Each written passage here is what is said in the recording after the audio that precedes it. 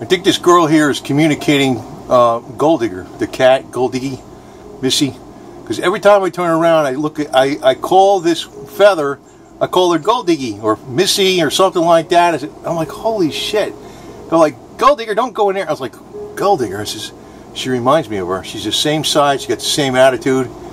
And the boys and her, kind of like, she's got her own girl world and they got their own other world. So so same kind of thing in a lot of, I think Gold Digger's communicating through Gold Diggy, little Missy, the white cat with the black cat, my little precious girl, you know, in Catland now, cat meow meow heaven.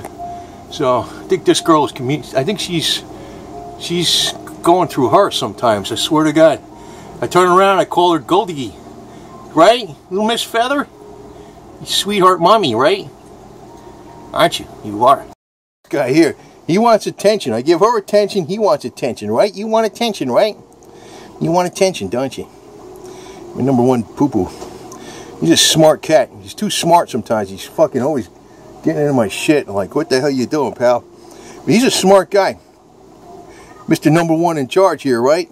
Aren't you, Mr. Putin, right? Mr. Putin the cat. Yeah.